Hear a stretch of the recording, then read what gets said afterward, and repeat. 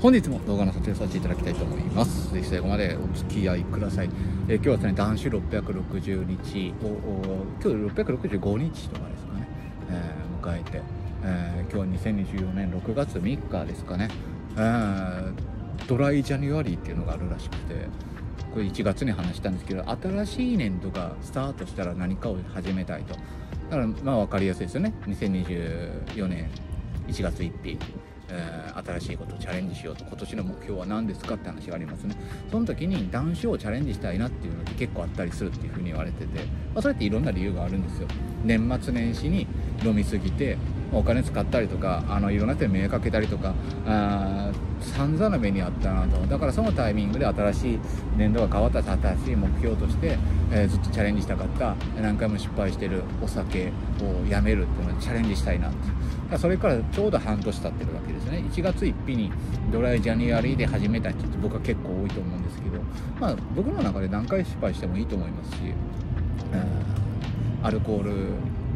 依存症の話しかり男子論しかりソバーキュリアス的考えしかり禁酒論っていうのはどんどんどんどん変わっていってますし、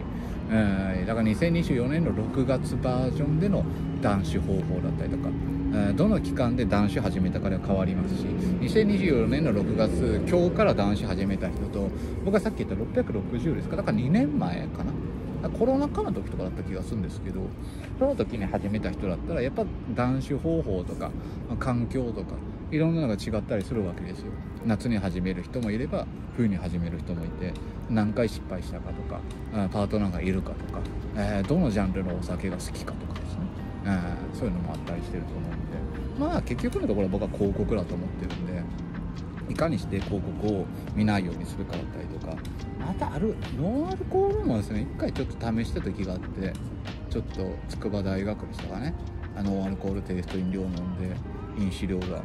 減ったっていう研究データが出てたっていうのがあったんで、まあ、それであのお酒やめた時にノンアルコールテイスト飲料をうまく使って断酒するっていう考えもあるんですけど、まあ、いかんせんお金がかかるしノンアルコールテイスト飲料は体に悪いしノンアルコールテイストによって100%ゼロパーではないしかといって炭酸水飲めばいいかって言ったら炭酸水最初飲み出した時にはこれも飲めばあの一生無敵じゃんってお酒いらねえじゃんとか思うんですけどまあいかんせん味がないんでね。味気ないし、まあ、冬場はまだとかだけど夏場でね喉乾いてあった時に炭酸水っていうのもちょっとねっていうのを思ったりするんで。かといってですねまあ僕もあるんですけどコーラ依存症ってあるんですか？コーラ中毒っていうのはあるんですかね？うんアルコールをやめたけどその分例えばコーラを飲むとかあ炭酸水飲料を飲むとかあ加糖に、まあ、俗にペットボトル症候群みたいなのがあるらしいんですけどいやそうなったらお酒飲んで体壊すとかあるけど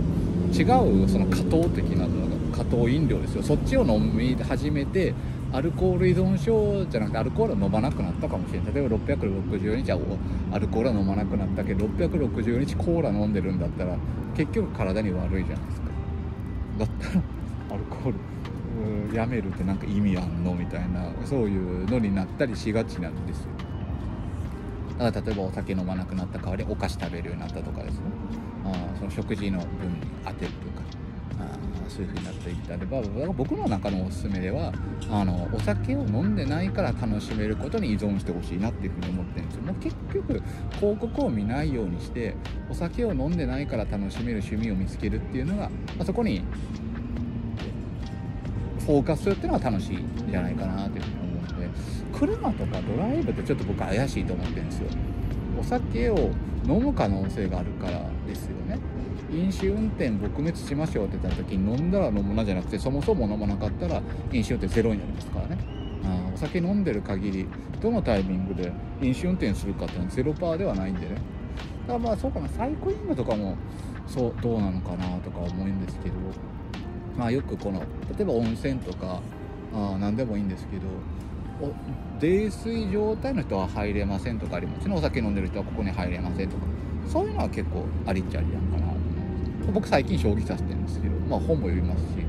将棋はお酒飲みながらじゃできないですね。その思考が問題でこ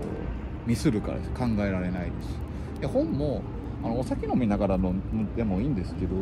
やっぱ思考頭に入ってこないし。だ問題なのは SNS とかドラマとかそのネットフリックスとか、S、その関係の、まあ、アニメしろにしろ動画だったりとかを見るっていうのを楽しみにしちゃう。まあそれはそれでいいっちゃいいんですけどお酒飲みながら見るとより一層楽しめてしまう感があるじゃないですか。映画はいいかもしれないです。映画館に行って映画を見るはいいかもしれないです。そのまず携帯のデジタルデトックスができますよね。その期間は見ないですから。それがあるってのとお酒飲みながら見れないあったりするんでいかにデジタルデトックスとお酒の相性を切るような趣味をつけるっていうのは個人的にはおすすめかなとだからゲームでもいいと思いますよ。ゲームして、えー、お酒を断つっていうのはね。結構ありなまあゲーム依存とか、まあ、いろんなのあったりとかしててゲーム依存で問題なのはこのなんか戦争系の問題らしくて。でアルコール依存症になったからこそ違う依存症に目が向くと思うんですよ。この依存はやべえなとか、まあ、これをうまく付き合うといいなとか。アルコールも別に僕は摂取ができればいいんじゃねえかなって一番思いますよ。なんかそれが僕は難しいから断酒してるだけで摂取ができるんだったらもうそれ例えば缶ビール350ですか？351缶を毎日飲むっていうんだったら厚生労働省が発表したのに 40g ですか？1日。それが守れるんだったら僕それがでいいと思いますある種で言えばですよ。それがずっと守れるんであれば。だからね僕の中で断酒法と禁酒法ってある種あの楽な道的なことなんじゃないかなと思うんですよ。毎日お酒1本飲み続けるのとまあ別に毎日じゃなくて23日に1回1本飲まないっていうのがしたのとずっと飲まないけどコーラ飲んでもいいとか、まあ、お菓子食べてもいいしお酒を飲まなければ、まあ、基本何をしてもいいわけじゃないですか、まあ、ある種ですよ、まあ、薬物とかその違法的なのはあるんですけど。だそう考えたらもう断酒論禁酒論ソバーキュリアス論もいいんですけど摂取論とか出てくると面白いですよね。1日この方法を実践すればあ缶ビール一杯で満足しますとかあのー、このグラスに一杯注いで飲むだけであのあなたは満足します。それが365日。だそんなできないんですかね。うんそういうのができてほしいですよね。そうまあ一滴でもお酒飲むとアルコール依存症はそのだから僕は一滴でも今から飲むとその660日前の脳に戻っちゃうからアルコール依存症って治らないっていうふうに言われてるんですけど、まあ、そんだけバカみたいに飲むしストロング飲むしもう記憶なくなる飲むしなんか最近だとエナジードリンクと、あのー、お酒の相性ってめちゃくちゃ悪いっていうふうにカフェインもあるしね。あるんで、まあ、それで体壊すっていうのはあったりすると思うんですけどじゃあもしその新しい治療法の中で一滴でも飲んだらダメだけどその1本で済みますみたいな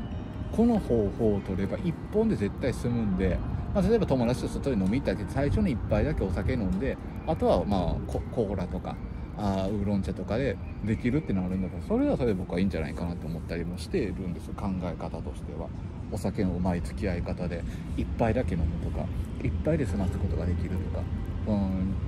最終言った厚生労働省 20g の中で収める飲み方とか。そういうのがあればいいですけどまあないですよね。誰か作ってくんないですか？そういう意味で言えば。そう考えたら断酒も禁酒も難しいしソバーキュリアス的な考え方も難しいけどお酒一杯だけ飲むっていうのにしたいな。そういう考えの生き方ができたらそれはそれでいいのかもしれないですよねでもそうなると経済的に嫌がるんじゃないかなと僕は思ったりとかしててお酒を一杯で済まされちゃうようになるとまあいろんな経済問題でも問題が出てくるんじゃないかなっていうふうに思ったりしてるんですよね。お菓子にしても1袋で、えー、食べ終わったら困るしコーラにしても例えば200ドルとか350で満足するようになるんじゃなくてやっぱ500とか1リットルとか、まあ、それにあってお菓子とか買わないといけないっていう風になったりするんで、まあ、考え方としてだから飲み放題じゃなくてお酒1杯だけその単品とかじゃなくてそのソフトドリンクのがありますね。最初の1杯だけお酒でまあ、2時間2000円の飲み放題コースだけど最初に1杯だけお酒でだ厚生労働省コースみたいなのがあってアルコール基準コースみたいなのがあって、1杯だけ飲んであとはソフトドリンクにする。でそれで、えー、例えば800円ですとかね。あなんかそういう考え方が、まあ、単純に男子男子男子男子やめるっていうのもね。あまあ何回でもトライして1回だけはもう結局いいんですけど、まあ、個人的に最近は接種の方が興味あるのかなと思うんで、まあ、ただこうやって男子とか禁止とか続けていくと接種にね踏み込めないんでね。多分まあそれをやろうと思ったら絶対失敗しますし。難しいんでね。なんか新しいそのお酒の付き合い方の考え方としてはローアルコールビールでその何杯も飲めばいいなとかそういう問題じゃないんでローアルコールだろうがストロングだろうが何だろうがその1杯で1杯飲んだだけで満足する。そこから先も飲まないしかといってそのアルコール基準とかアルコールのグラム数もその範囲内に収まってるっていうようなあ発見がねあれば僕の中ですごく興味がある。なんか誰か挑戦してほしいというか。まあそしたら結構論文とか、あのー、表彰されるんじゃないですか。まあメディアとか絶対出ないですけど新しいアルコール依存症の研究の対象としてアルコール依存症者が、えー、まあ、カップ1杯とかその一口で、えー、収まるようになったとか。そういうのは僕はすごく興味がある、やるのはすごく難しいと思うんですけど。興味がある方は是非、えー、いろんな研究にチャレンジしてみたらいかがでしょうか。ちなみに僕は絶対に行きます。